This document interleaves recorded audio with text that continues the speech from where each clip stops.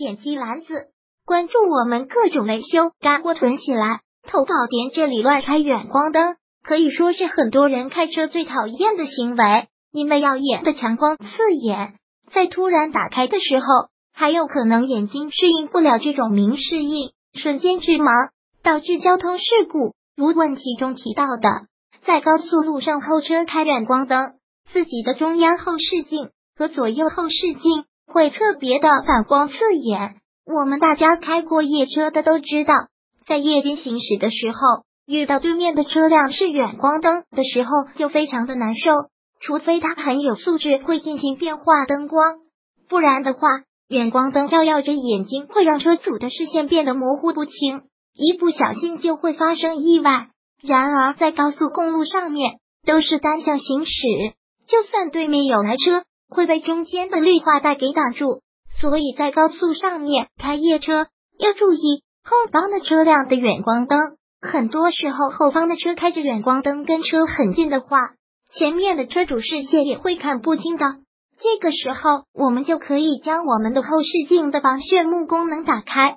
以中国司机现在的情况，连车内防眩目都不懂，别奢望他们能给你一定的安全。所以需要你在行驶中不断的根据情况，将自己时刻处于相对安全的境地中，才是最稳妥的。夜晚上高速了就把远光打开，跟车近了可以切换一下。防止前车司机不会打开车内防眩目，那么多近算近吗？一般在一百到一百五十米左右。由于高速路是单向行驶，对向行驶的车道基本上有较高的隔离物阻拦，可以遮挡大部分的光线，因此基本上在对向行驶中，双方使用远光灯不会产生干涉现象，所以不会对对方安全行驶造成较大影响。同向行驶的车辆。远光灯只会给前车的后视镜、倒后镜造成反射光，使驾驶员眩目，影响驾驶。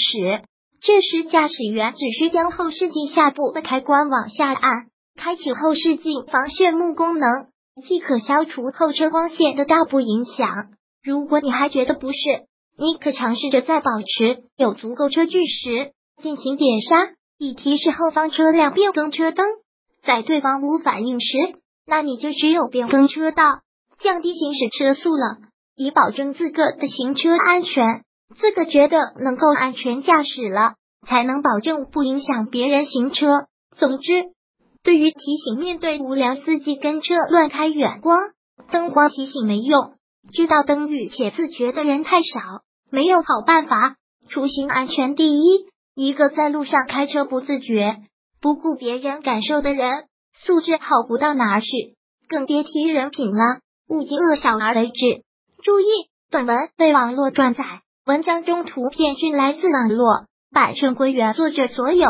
如有侵权，请联系删除相关文章。